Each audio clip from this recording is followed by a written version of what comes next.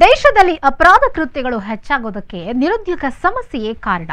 ಹೌದು, ಪದವಿ ಪಡೆದ ಪ್ರತಿಯೊಬ್ಬರಿಗೂ ಉದ್ಯೋಗ ಇಲ್ಲದಿರುವುದೇ ಈ ದೇಶದಲ್ಲಿ ಅಪರಾಧ ಕೃತ್ಯಗಳು ಹೆಚ್ಚಾಗಲು ಕಾರಣ ಅಂತ ನಿನ್ನೆಯಷ್ಟೇ ರಾಹುಲ್ ಗಾಂಧಿ ಹೇಳಿಕೆ ಕೊಟ್ಟಿದ್ದಾರೆ. ಈ ಮಾತನ್ನ ಅಪರಾಧ ಮಾಡಿದ ಆರೋಪಿಗಳನ್ನ ಕೇಳಿದ್ರು ಅದೇ ಉತ್ತರ ಕೊಡ್ತಾರೆ. ಯಾಕಂದ್ರೆ ಸರಿಯಾದ ಸಮಯಕ್ಕೆ ಕೆಲಸ ಸಿಗೋದಿಲ್ಲ. ಕೆಲಸ ಸಿಕ್ಕರೂ ಸರಿಯಾದ ಸಂಬಳವಂತೂ ದೊರಕೋದೇ ಇಲ್ಲ.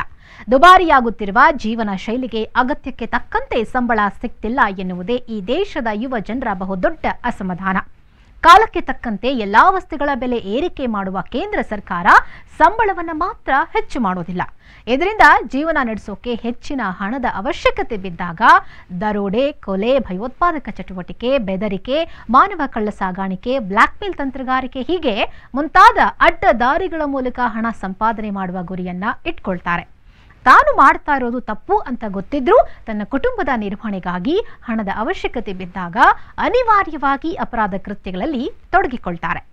ಹಣದ ಅಗತ್ಯತೆಗಾಗಿ ಅವಿದ್ಯಾವಂತರಿಗಿಂತ ವಿದ್ಯಾವಂತರೇ ಅತಿ ಹೆಚ್ಚು ಅಪರಾಧ ಕೃತ್ಯಗಳನ್ನ ಮಾಡುತ್ತಿರುವುದು ತನಿಖೆಯಿಂದ ಬೆಳಕಿಗೆ ಬಂದಿದೆ. ಇದು ದೇಶಕ್ಕೆ ಮಾರಕವಾಗಿ ಪರಿಣಮಿಸಿರುವುದು ನಿಜಕ್ಕೂ ದುರಂತದ ವಿಚಾರ.